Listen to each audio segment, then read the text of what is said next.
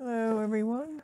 Um, today I'm going to go over some basic watercolor techniques on how to do a wash. And a wash is just a way to cover a way to cover an area using water and paint.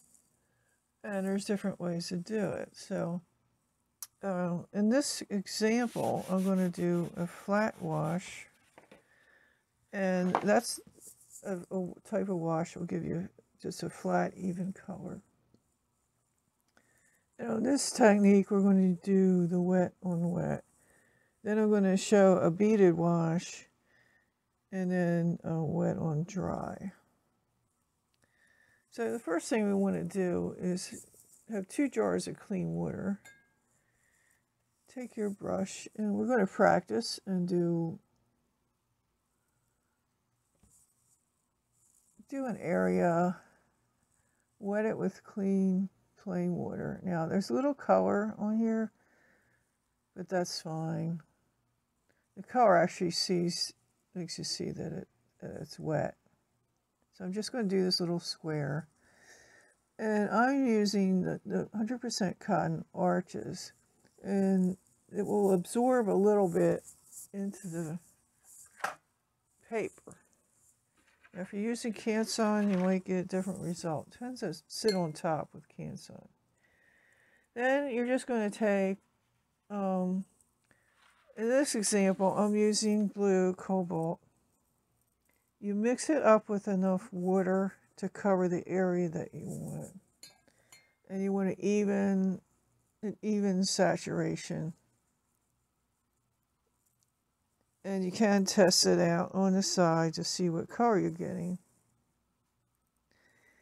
Now it is going to um, dry lighter because you started wet. So I think I have plenty um, to cover this small area. And then I'm going to go in and just um,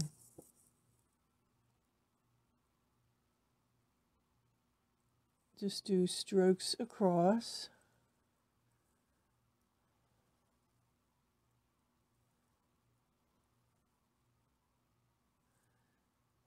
And overlap the strokes. And it doesn't look too even right now, but if you let the water blend it, it will look more even.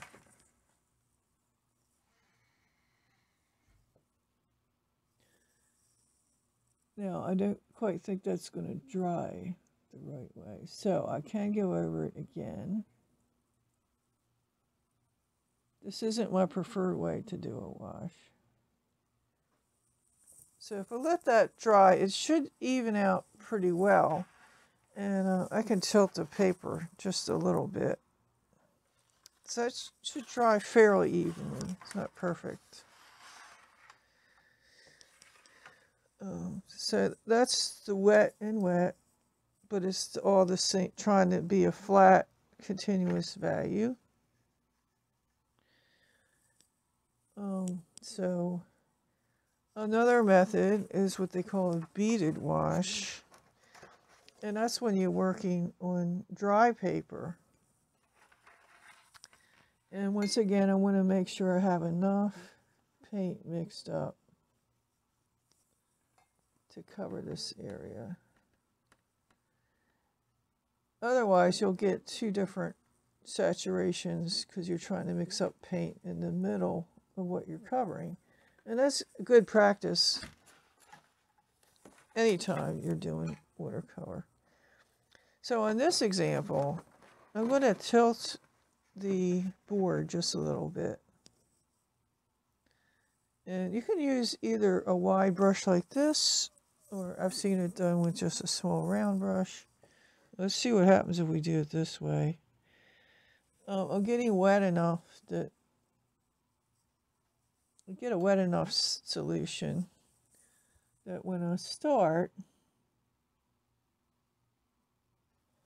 and you tilt the board, you'll get like a bead going across. That's called a beaded wash. So then the next stroke, you're bringing down that bead. And the next stroke, you're bringing the bead down again. And this stroke, there's not enough of a bead, so um, I can go over a little bit. Then I'll draw it down again. And there's a little bit of a bead here.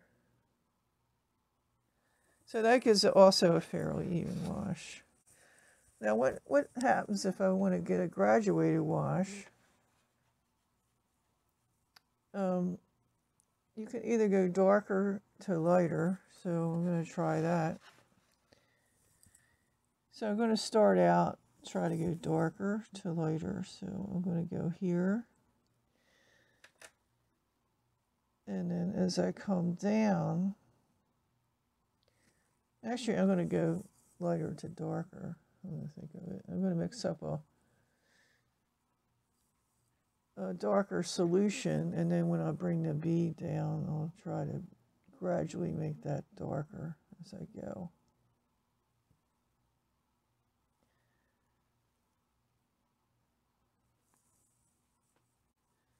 So it takes a lot of practice, and sometimes it works, sometimes it doesn't.